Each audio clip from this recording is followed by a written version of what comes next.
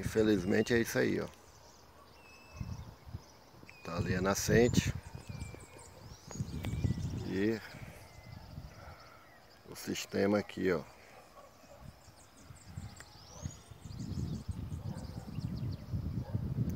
Vai descer tudo para lá.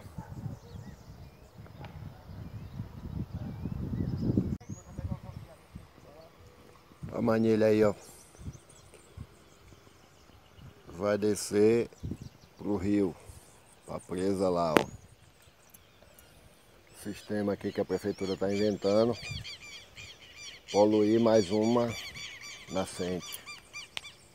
Olha lá. Né? Lá presa lá, ó.